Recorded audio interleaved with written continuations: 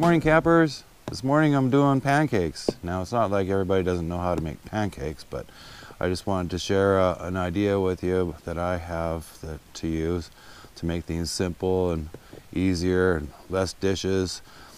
Uh, with a little planning before you go out, what I did is I took like it was like a Gatorade bottle or something like that, one with a fairly wide wide mouth, and I cleaned and dried it real good measured in my pancake mix, which is one that you just add water to, which is kind of nice. And so I put in that, I labeled it pancake mix, add one cup water,